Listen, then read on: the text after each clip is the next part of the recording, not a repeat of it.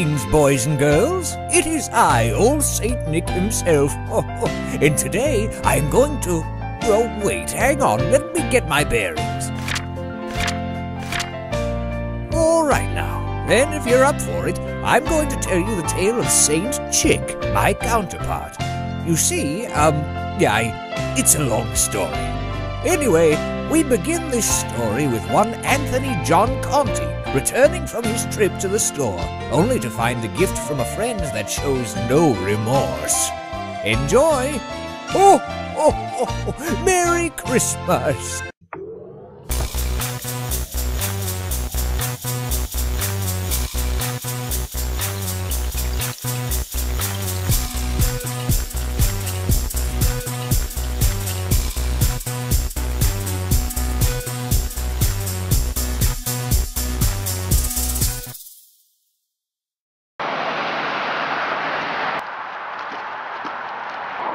Tell me again, why did you buy, buy that box again?